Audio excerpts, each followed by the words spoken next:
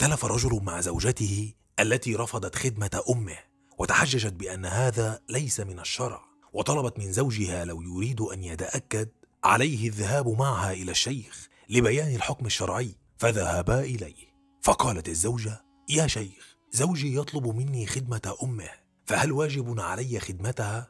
فقال الشيخ لا يجب عليك خدمة أمه بل خدمة أمه واجبة عليه هو ولذلك يجب عليه أن يستأجر لها من تخدمها وتمارضها وهذه النفقة واجبة عليه هو. لذلك يلزمه الاقتصاد في معيشتكم على القدر الواجب في النفقة ليوفر ما يدفعه للممرضة التي ستعتني بأمه. لكن قد يكون دخوله على أمه والممرضة بجانبها فتنة فأنصحه بأن يتزوجها فيجمع بين المصلحة وهي خدمة أمه ثم دفع الفتنة والشبهة عن نفسه. وبالطبع هذا من حقه لأن نفس الشرع الذي تتمسكين بحكمه في عدم وجوب خدمة أمه عليك هو الذي حكم له بجواز التعدد. أما أنت فتبقين معززة مكرمة لأنه لا يجب عليك خدمة أمه إطلاقا. فقالت الزوجة سؤال أخير يا شيخ هل لي أجر عند الله إذا قمت بخدمتها؟ فقال الشيخ نعم بالتأكيد. فقالت الزوجة إذا أحتسب الأجر عند الله وجزاك الله خيرا يا شيخ.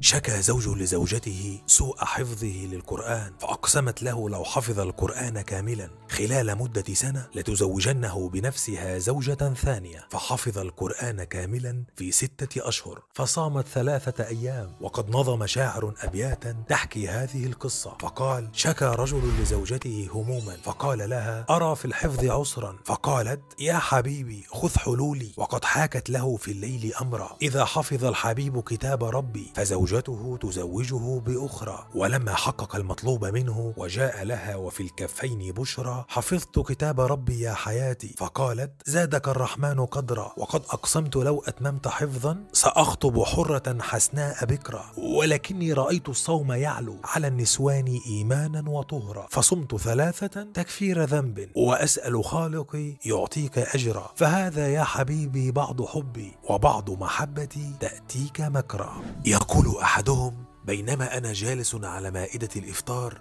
أنتظر الأذان أدعو لصديقي قائلا اللهم ارزقه زوجة صالحة فإذا بزوجتي تضربني على قدمي. فقلت بسم الله ماذا بك؟ فقالت لا تدعو. قلت ماذا في ذلك؟ إني أدعو لصديقي بزوجة صالحة. فقالت أعلم ادعو الله بأي شيء إلا الزواج فإن الملك يقول لك ولك بالمثل. ونحن في وقت استجابة.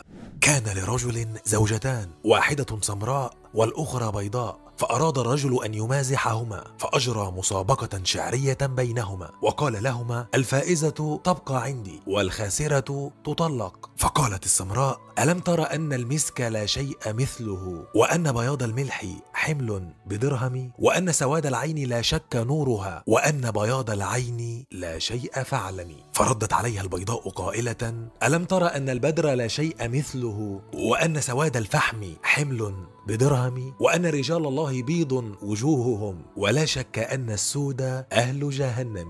فسر الرجل بهذا الحوار الجميل وببراعتهما في الرد وقال لهما ممازحا كلتاكما فازت وعلى هذا سأتزوج بثالثة.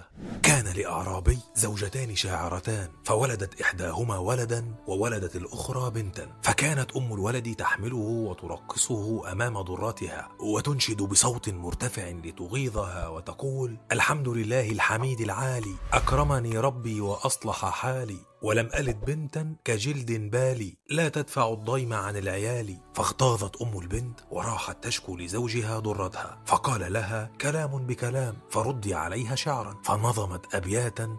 كانت سببا في أن يتزوجها الأمير. تقول فيها وما علي أن تكون جارية تغسل رأسي وتراعي حالية وترفع الساقط من خمارية حتى إذا ما أصبحت كالغانية زوجتها مروان أو معاوية. أصهار صدق ومهور عالية. فشاعت أبياتها في الناس ولما كبرت البنت قال الأمير مروان بن الحكم أكرم بالبنت وبأمها ولا يجب أن يخيب ظن الأم. فخطب منها ابنتها وقدم مئة ألف درهم مهرا فلما علم معاوية بن أبي سفيان بذلك قال لولا أن مروان سبقنا إليها لضاعف فصرفنا لها المهر ثم بعث للأم بمئتي ألف درهم هبة من عنده.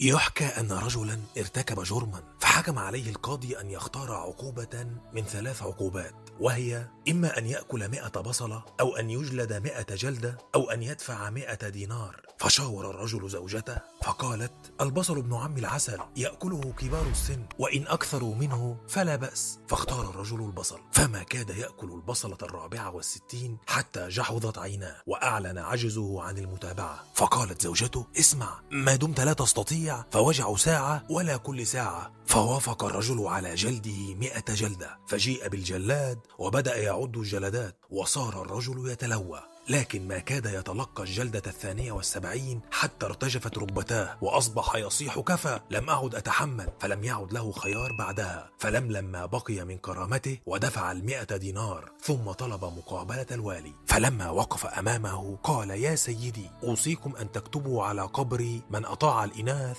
دفع الجزاء مثنى وثلاث.